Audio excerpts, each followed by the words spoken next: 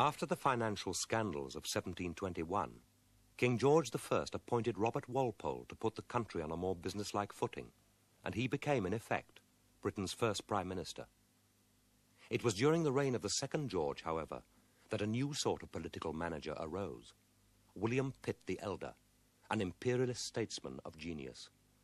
At the outset, Pitt was successful in his designs upon the New World. At the Treaty of Paris in 1763, the first British Empire as such was recognized, and among other territories, the British gained all of Canada, and a fair part of Eastern America was controlled by them. But during the long reign of George III, the dream of empire in North America was rudely shattered. Churchill writes, An act was passed through Parliament authorizing the East India Company to ship tea direct to the colonies without paying import duties. The outcry across the Atlantic was instantaneous. In December 1773, the first cargoes arrived in Boston. Rioters disguised as Red Indians boarded the ships and destroyed the cases.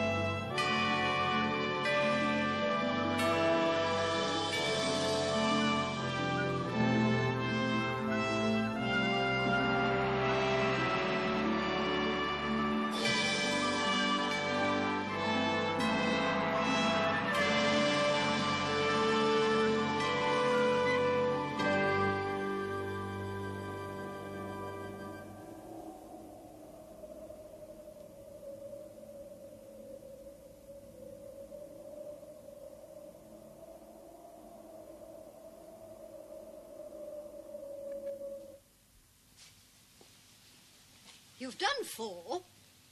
Have I? I, I make it three. Four. Oh. We agreed four. You shouldn't need any more than that. Not just to answer a few questions. Having to think about Boston creates pandemonium in my brain. I, I do think it would be wise to make it five.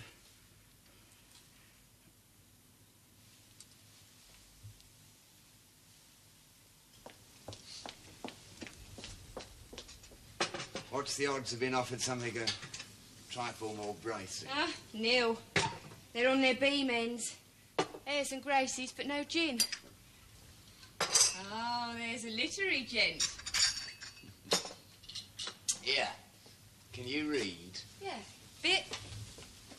My latest novel. For you. Tuppence. The Brutal Pirate by Samuel Ross.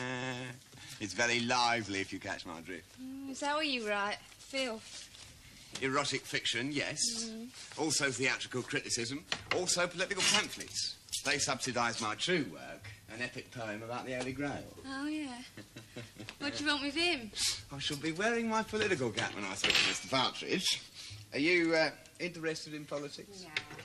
Oh, and it's Judge. Hmm?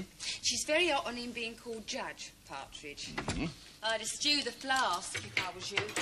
You'll need all your concentration. He's not always with us. You Know what I mean? Mr. Ross, Judge Partridge. may I present my wife? An honour, ma'am. May I say that those of us who know what you've endured admire you deeply. Oh, well, this is pleasant to hear. Most pleasant. Tea, Mum? Shall we breakfast in the garden? The cottage is small, but the view is agreeable. On a clear day, one can see St. Oh, Paul's. delightful. Ah, is it always so warm in March? Like an interesting woman, the English climate is completely unpredictable. Charming, Mr. Ross. Oh, we find the climate most agreeable so far. in Boston, one is roasted and frozen in turn, which is why so many men are mad there. Uh, will you make your home here in Hampstead Village? Yes, but uh, not in this cottage. The brewer's fancy isn't really large enough for our needs. I think it's shameful that Parliament has yet to offer you compensation. After the splendid way in which you've behaved. the loyalty you've shown to king and country. Forgive my emotion, but this is something I believe deeply. I fear we shall have to wait for an official declaration of war against the colonies before any action is taken on compensation. You do expect war. Oh, we live in hopes. Though there's a fearful stench of conciliation coming from the House of Commons. Belly of pork. No, the stamp tax should never have been repealed. The pressures were tremendous. Oh, damn it, it was a fair tax. I mean, every man was required to use a pre-stamp paper for his legal documents, which meant that every man would have been doing his best to help the mother country, to help England. Wasn't that fair? Wasn't that fair? It was fair. It was fair. But when we read about the riots, read Boston was in flames. I tell you, sir, had the right heads been blown from the right shoulders in 1765, then the volcano of rebellion would never have erupted. The hydra of revolution would have had its venomous tongue plucked out by the roots. This is England, Thomas. You can speak less colourfully here. It wouldn't surprise me to learn that writing was one of your talents, Judge. Writing? What exactly do you mean? What have you heard about my writing? Nothing. Then how very singular of you to remark upon it. I'm sorry, I didn't mean. Uh, have a dish of tripes. Eh? Sorry. Thomas. Anna, Yes. go into the cottage. Shall we go into the cottage? It's too dangerous for you out here. The temperature seems to have dropped, and Thomas worries, sir, about my health. But we haven't. Come into the cottage, Mr. Ross.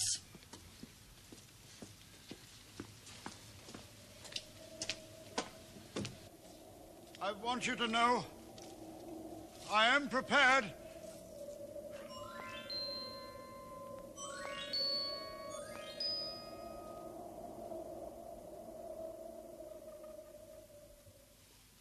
Dark thoughts have taken him over.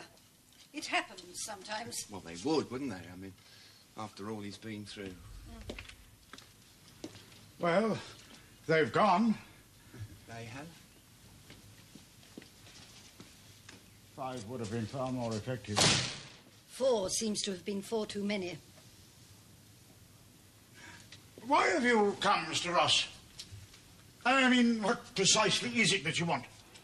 Well, um, first-hand details of your treatment at the hands of the radical mob, and that sort of thing.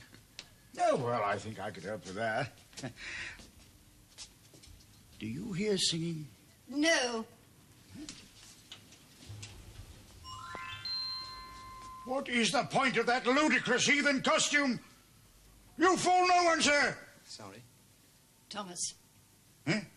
this is not Boston. There are no men in heathen costume on Hampstead Heath.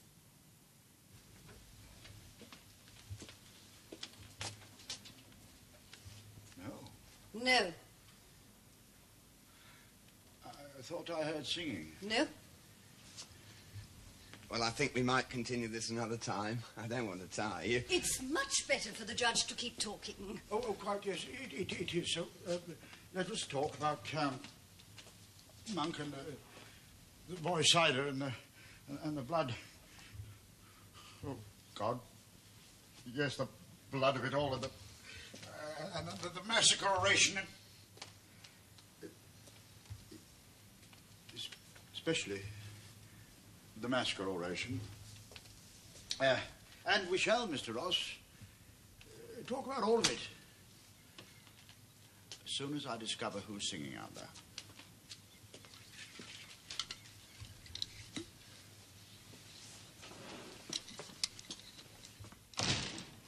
I'm. Ten years. Fear. Violence. What has occurred, Mr. Ross? We used to be so highly regarded. We gazed down at Boston from our house on Beacon Hill, and our air was rarefied air, fit for those God has chosen to set examples. What has occurred? I'll go, ma'am. Oh, no, please, stay. There will be lucid moments. Uh, your pamphlet might shame the Commons into speeding compensation, and, uh, well, your letter mentioned a fee. And, uh, not to put too fine a point on it, Mr. Ross, we could use the five guineas. Ask Betty to make you some more tea.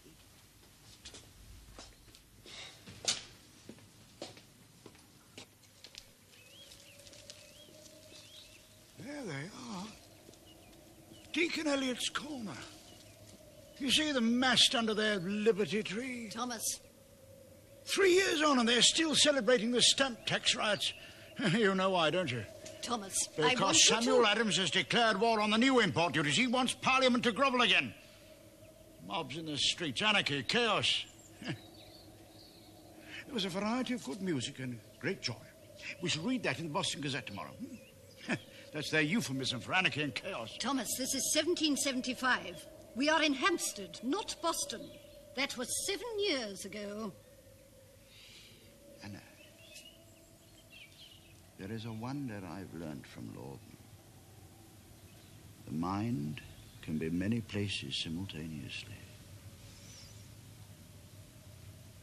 Boston is all round us. The atmosphere is charged with it. Smell the smoke. Muskets. The warehouse fires. Can't you feel the heat? See the steam rising from the streets? Boston. Our inferno.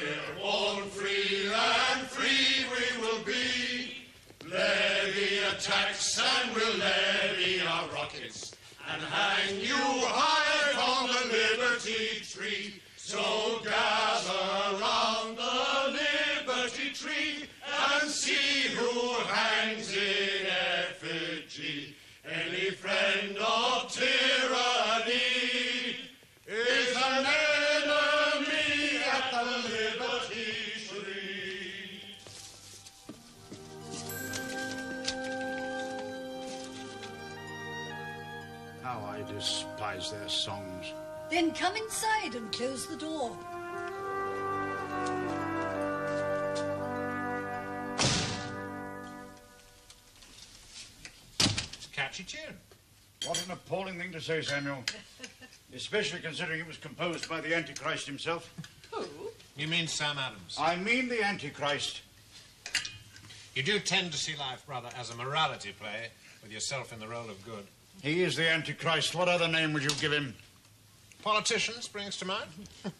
Samuel Adams and his radical crew are not politicians. They are a diabolical cabal. Thomas named them that. They have created a metropolis of sedition. That's his phrase, too. Anna, Oh, I beg your pardon. I mean, that yowling mob was content only a few years ago. Well, why not? They're the most indulged children on the face of the earth. But when their loving mother asks her pampered offspring to help share the burden of the Seven Years' War, the diabolical cabal poison their minds with talk about liberty endangered and lead them into the most unfilial rebellion against a loving mother. Oh, that diabolical cabal. Oh, very witty. Uncle Thomas, hmm?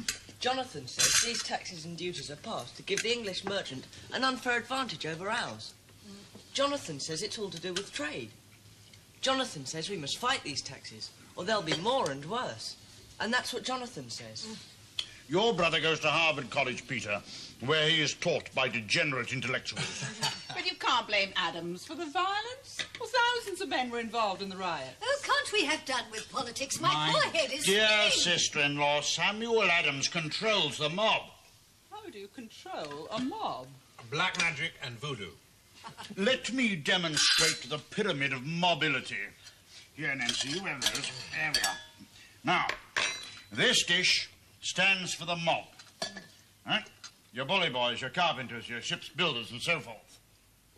They are controlled with near military discipline by one man, Ebenezer Mackintosh, who owes his allegiance to the Loyal Nine, who hold nocturnal meetings near a distillery. Not surprising, since they depend for their courage upon being near a liquor store. the Loyal Nine take orders from John Hancock, who is affixed in the manner of the rattles of a rattlesnake to the hindermost parts of Samuel Adams. We want to bring Adams to trial.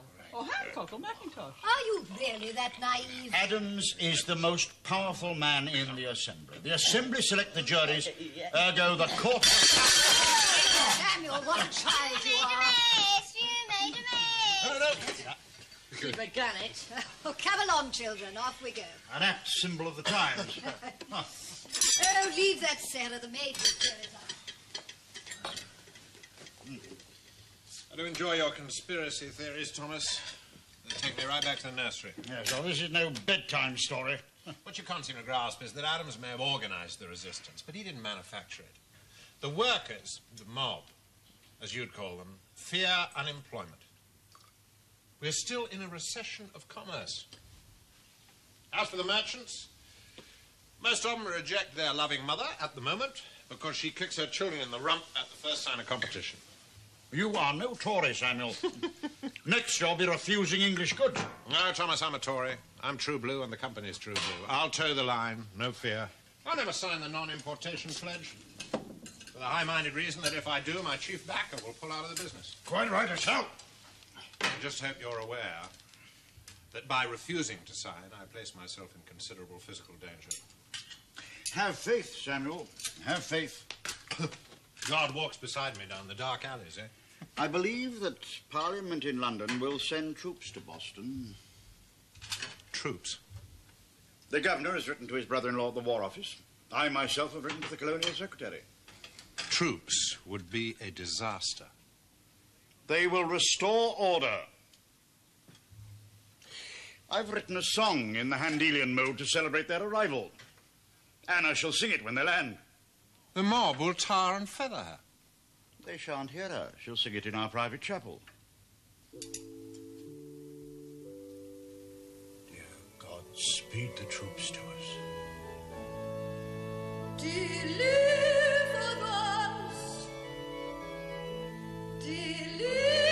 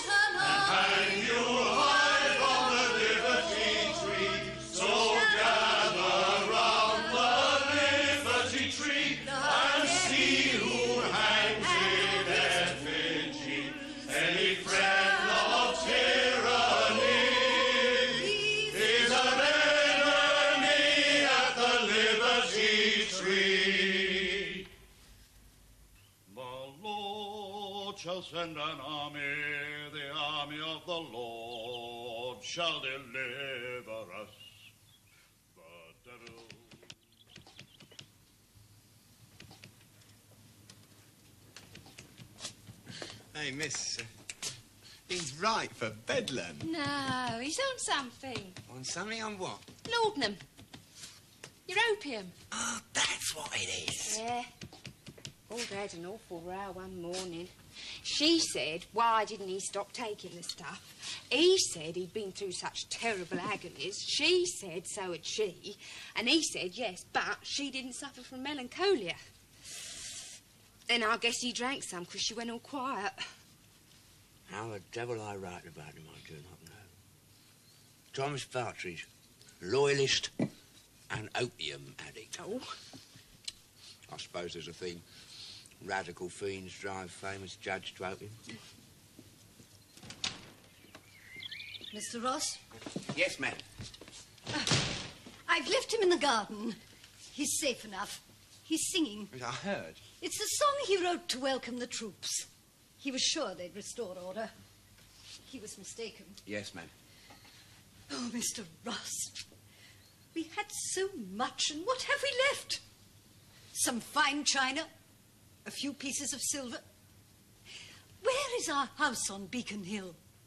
Our estate in Middlesbrough County? Our sons?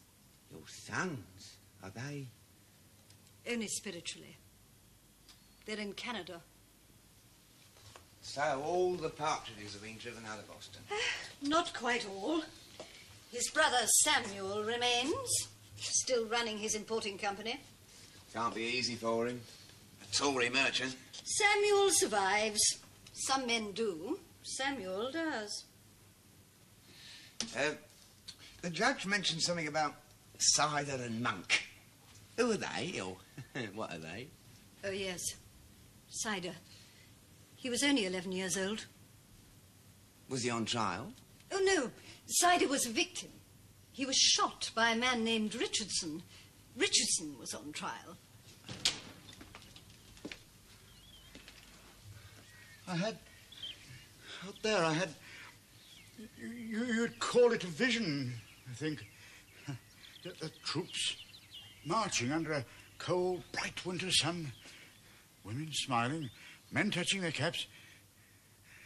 The king toasted, the mere mention of England bringing a cheer from the crowds on the common. Oh, Boston shining like paradise regained. But it didn't happen that way, Thomas. Let's think of what might have been. God save our Lord the King. Long live our noble. You uh, were telling me about Seider. Oh, yes. Seider wasn't the important thing. I mean, well, yes, of course, he was important. One man's death diminishes us all, or one boy's death, the fall of a sparrow, and so on, but the trial was the important thing. Well, the mobs were really. The mobs in the courtroom. Mobs? Actually in the courtroom? Oh, yes. This was 1770. And at that time, the atmosphere was quite frightening. You see, the troops hadn't really made things any better. Oh, If anything, it made things rather worse. People would taunt them, throwing stones and bricks at their heads. That's a bit stronger than taunting. Stones and bricks. Fights broke out. The mob simply had no fear of the troops. And when it came to something like a Seider Prostrate affair, their why, they simply stormed the courtroom. on the hopes we've Hang the damn dog. Blood requires blood. Hang the damn dog. Blood requires blood. Hang the damn dog. Blood The requires jury will, of course, not be influenced by our friends in the gallery. They will ask themselves merely who was responsible for the death of the boy Seider. Ebenezer Richardson held a gun. But who pulled the trigger? I say that when a man's home is surrounded by a bloodthirsty mob who break his windows and threaten the life of his wife and his children, then I say that man is justified in reaching for his rifle. But a bullet has no mind. It may quite easily strike an innocent bystander, as Seider perhaps was. But do not blame Richardson for his death. Blame rather those men who have created a climate of madness here in Boston. blood. Blood requires blood. Hang the damn dog. Blood requires blood. Hang the damn dog. Blood requires blood. Hang the damn dog. Blood requires blood. Hang the damn dog. Blood requires blood. Hang the damn dog.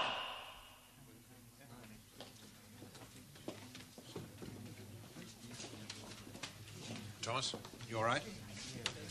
I'm, I'm, I must have dozed. It's so peaceful in here. Tory Asylum in the eye of the storm. Waiter. Wait.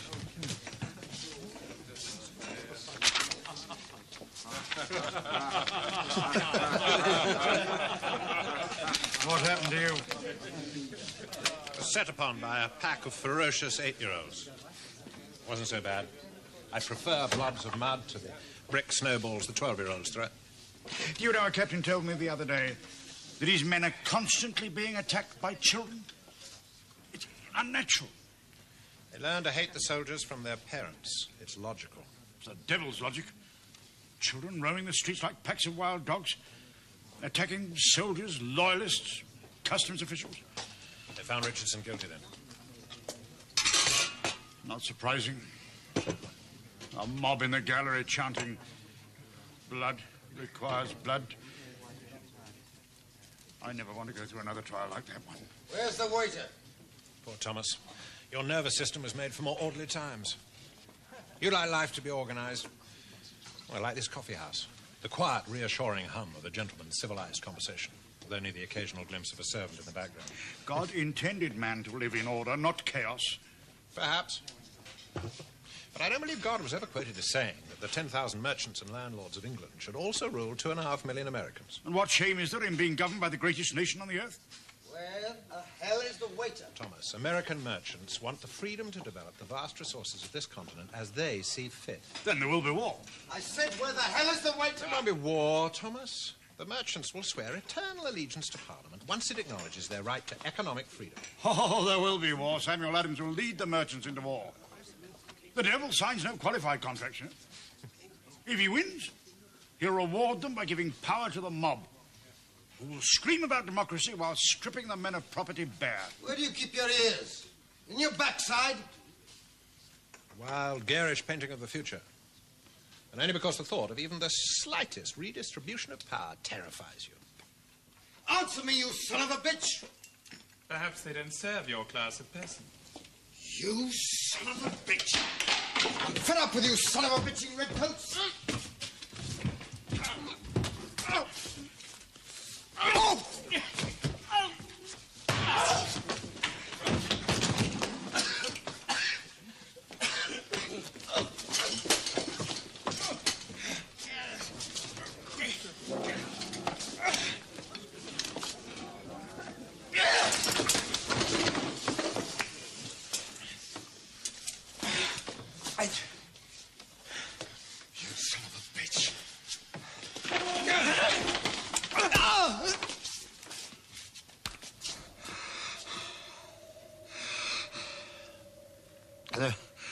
No sanctuary. The future is blood. War and blood.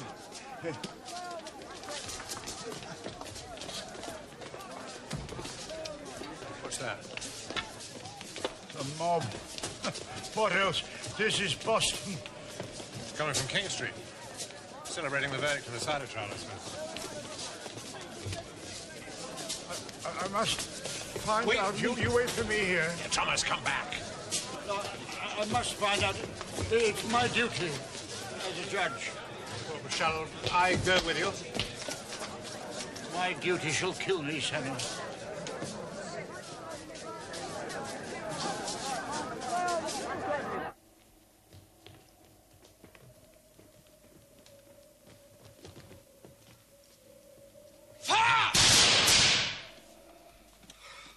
Five dead. We don't know how many wounded. Captain Preston and eight of his soldiers are in jail. There'll be a trial. Because there's no doubt they were provoked. I mean, they faced a mob of 500 men. The mob daring them to fire their muskets. Hardly a physical assault. Well, there are a lot of unanswered questions. I mean, we just have to find out if the soldiers were in any real danger, whether they were actually ordered to fire. Oh, God, I'm so tired. Adams will call it a massacre. My God. The new year barely three months old. Already he's got six martyrs. You wanted the troops. As much as any man, you're responsible for them being sent. The blood in King Street is on your hands. I must go home. I'll walk with you. No, we'll, we'll talk tonight. I've got thoughts that must be sorted out.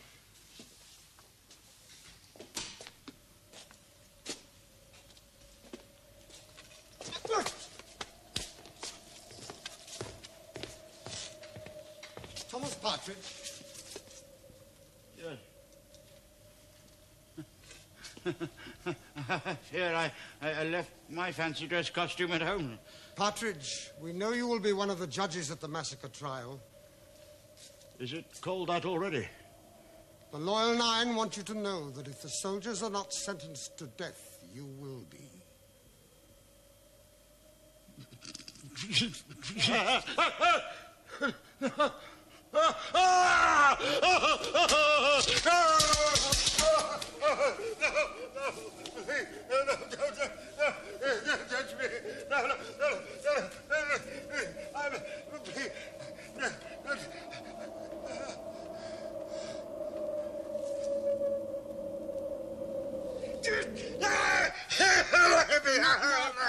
No, I can't stand it. No.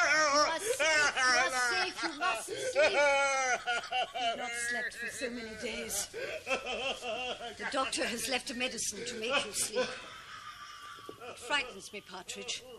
He says it may take you away from me and mind. I'll have to look after you. I don't want to be strong, Partridge.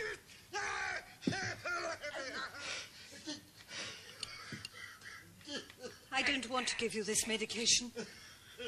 But you must sleep or you'll die. It frightens me to think of you dead. Anna! For God's sake, Anna!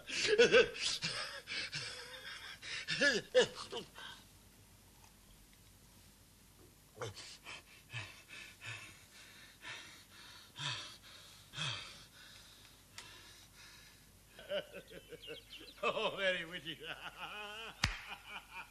yes. What, what?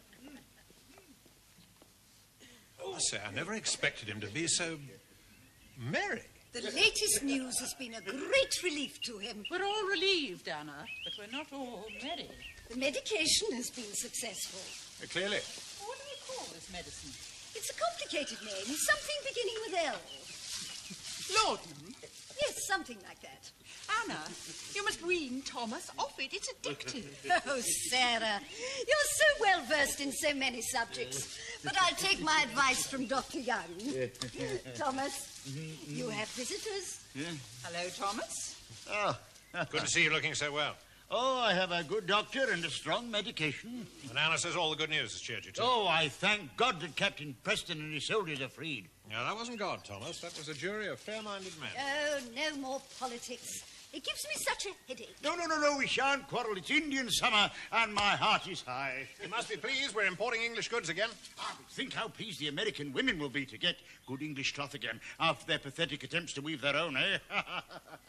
and to drink decent tea after that wretched stuff that Hancock's been smuggling in from Holland. Well, it'll be like old times again, eh? Oh, it'll be like old times. I do believe you're almost well enough to stop the medication. oh. no, I, I, I- I don't think so. Uh, Yes, when will you resume your seat in the Supreme Court? oh, I, I, I, I don't think so. I shall retire. Don't be foolish. What would you do with yourself all day? Do what I do now.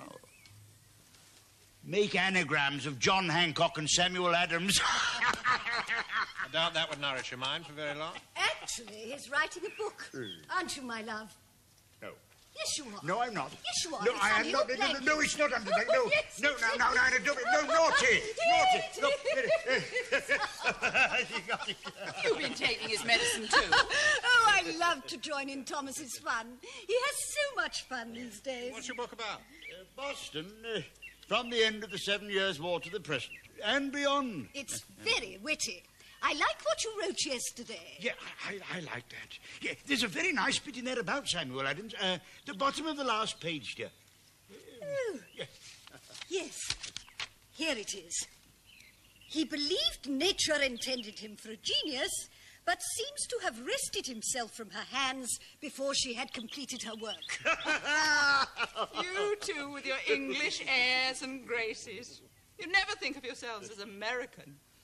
And what's so terribly ironic is that to an English gentle person, you'd appear quite degenerate. Born as you were amongst the hodgepodge of Scotch, Irish, German, convicts, outcasts. Oh, Sarah, you really are the most terrible little vixen. My Stop. dear sister. This is a day to celebrate, not take up arms. Thomas is much improved, and the atmosphere in which we live has cooled. And the threat of war has passed. So let us celebrate. eh? but Samuel Adams still leaves the Antichrist, walks amongst us yet. so there will be. there, mu- there must be war.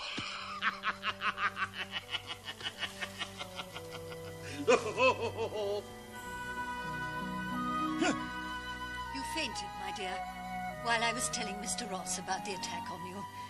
Thomas, I want you to talk to Mr. Ross. I want No, you to no, tell no, him about the massacre I of must sleep, no. It's important that he Uh, hears it from if I you. think of Boston any more Thomas, today, I shall now. die of pain. Thomas, you shall Oh, sleep God, after. Oh, please, no. I've put the laudanum away. You shan't sleep until you have spoken to Mr. Ross. You've become a very hard woman, Anna. Not yet, but I'm trying. Oh, very well. Let me let me wash my face first. Naturally, I've told him nothing about Samuel, except to say that you have a brother still in Boston. There's no need for you to mention him. Oh, very well. Do hurry, Thomas. He wants to be returning to London. Thomas? Thomas? What is it? Thomas? Thomas? What is it? This is your doing, isn't it? What is? Partridge and Company have been named tea consignees. Have they indeed? And what, pray, is a tea consignee? Didn't you arrange it? Samuel, I, I don't know what you're talking about. I mean, here I am working quite happily on my book. All right. Parliament, in their infinite stupidity, have decided to bail out the British East India Company. So? They're going to let them sell their tea directly to certain merchants without going through a middleman. In other words, no more tea auctions. I must repeat, so. The announcement of who the fortunate merchants are to be was made today. I am one. Oh, congratulations. I have no desire to be associated with this monopoly. East India Company can sell its tea now for far less than anyone else.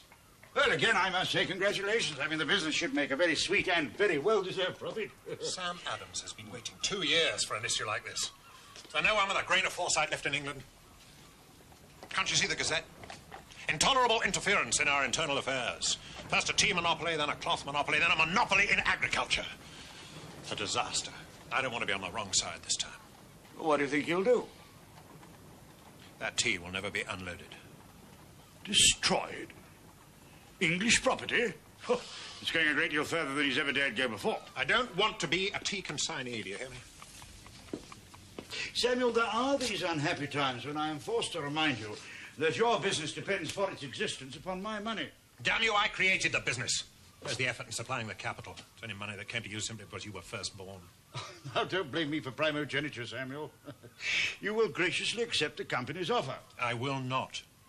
In the name of God, I told the colonial secretary. You did arrange this. You unbearable, overbearing, dominating, airs and graces, son of a bitching drug addict, Anglophile!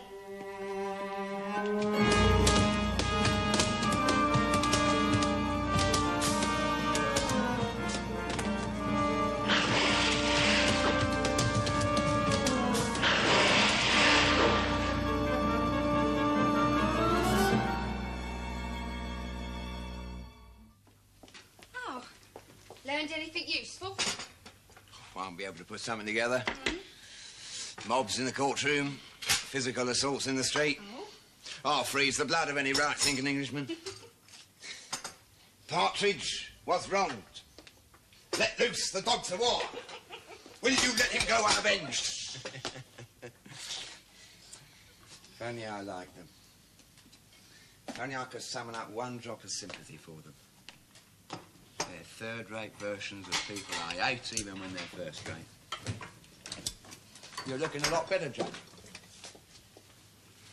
So, uh, I am to tell you about the massacre oration. If you would, sir. D- Do you um, know what it is, the massacre oration? Never heard of it. It's a speech made every 5th of March commemorating the Boston Massacre, as he called the soldiers' defense of their lives. He's going through my desk. Stay on the track. Then you'll be able to sleep. He's uh, not going through my desk. He he went through my desk last year. Very good. The massacre oration of 1774 was highly charged, uh, coming as it did only a few months after the uh, radicals' jolly little tea party. oh, God! Monk! Four years have passed since the infamous night of the Boston Massacre. But for Christopher Monk, time stopped that night. His eyes are open, but he sees nothing. If he hears anything, there is no way of saying. He cannot walk, he cannot even sit up. All this the work of one bullet on one night. Why have we brought him here today? Why subject him to the ordeal of leaving his bed? To remind you of what the enemy has done to us and will do again. England shall try to make us pay for our tea party, but England is only the enemy without. Even more sinister is the enemy within. Today I will tell you of the perfidy of one man, a respected figure in the community. Here is a work that purports to be a history of Boston. A vile book that vilifies our greatest leaders. And here also are copies of letters that prove that this same respected citizen was in large part responsible for the arrival of troops. Troops that terrorized us, that made Christopher Monk one of the living dead. A man so unrepentant that but a month ago he wrote Lord North calling for the blockade of Boston Harbor in retaliation for the Tea Party. How had they obtained your manuscript and your letters? We'll never know.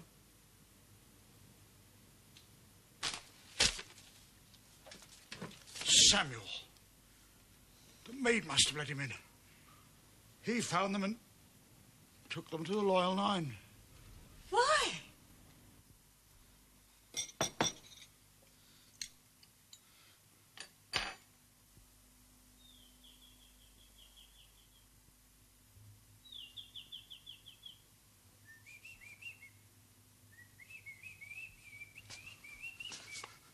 What is the point of that ludicrous heathen costume? You fool no one, sir.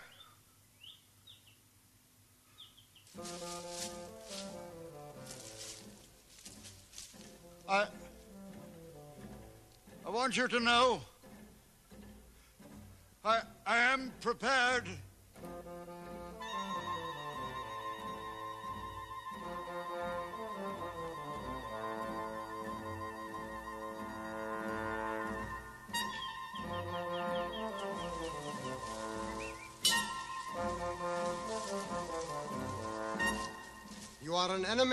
Boston, Partridge.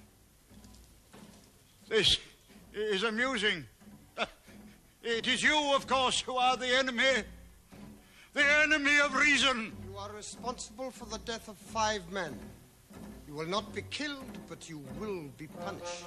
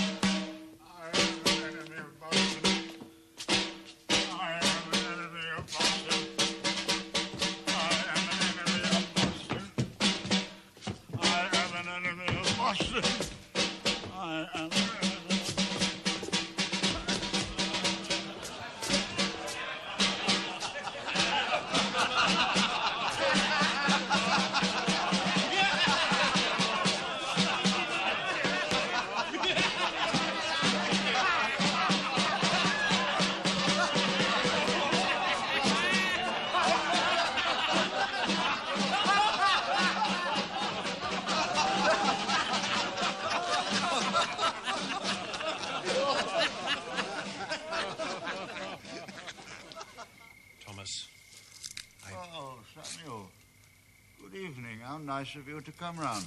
I didn't think. It's a full moon tonight. After having been named tea. consignee, I had to prove to the radicals where my loyalty lay. tea, tea, consignee.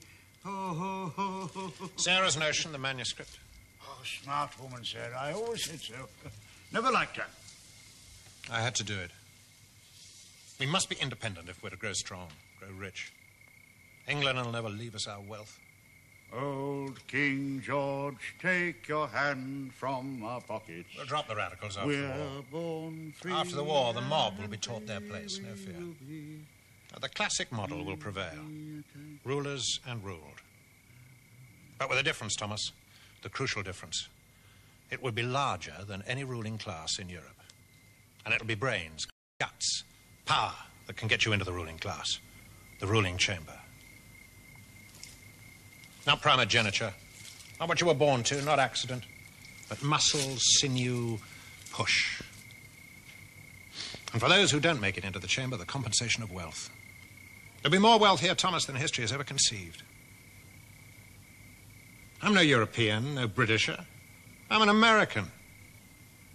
Any friend of tyranny is an enemy at the liberty tree.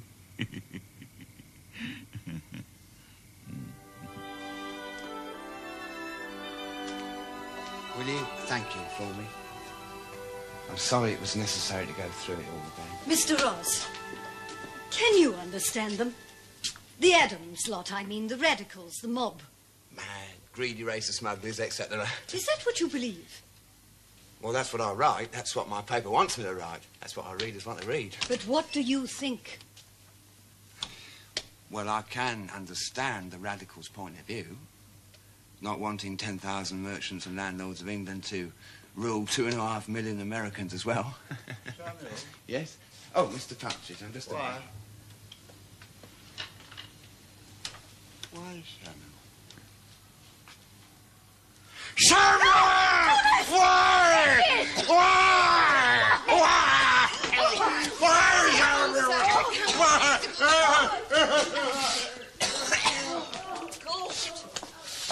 You all right? Right. What happened? I don't know, do I? Called out my name and he went mad. Went? He is mad. Yeah, his brother's named Samuel too. Maybe he I don't you- care what he thought. But he's your hero. Oh, yes. You're going to write about him, aren't you? I'll write about him, all right. But not for my editor. For another gentleman of my acquaintance. Well, not a gentleman exactly, but he pays well. And he edits a little radical journal, The Awakener. I can write a piece for him in half an hour. Portrait of a loyalist as madman.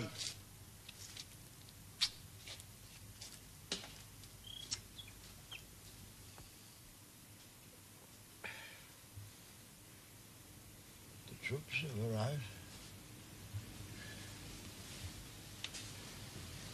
Samuel Adams is fled. The Antichrist is defeated. We must never again be torn asunder from our mother England. Our laws are English. Our language is English. Our souls are English. And English we shall ever be. So let us cheer for good King George.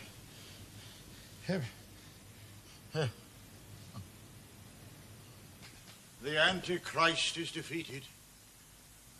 We must never again be sundered from our mother England. Our laws are English. Our language is English. Our souls are English. And English we shall ever be. So let us cheer for good King George. Hip, hip. Hooray!